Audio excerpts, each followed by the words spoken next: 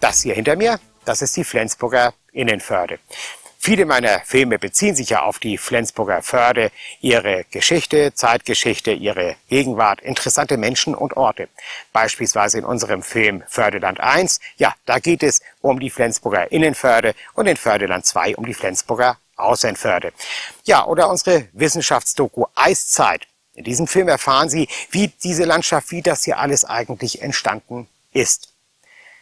Wir bieten Ihnen heute Videos in verschiedenen Variationen an, beispielsweise als klassische DVD, aber auch im moderneren Video-on-Demand-Verfahren, dem Streaming. In dem Zusammenhang haben wir eine ganz neue Website für Sie geschaffen, nämlich förde-video.de. Ich würde mich freuen, Sie mal auf unserer Website begrüßen zu können. Dort finden Sie zu jedem Film, den wir anbieten, natürlich auch einen Trailer Sie können in Ruhe stöbern und aussuchen, ja, und vielleicht das eine oder andere Interessante für Sie finden. Vielen Dank.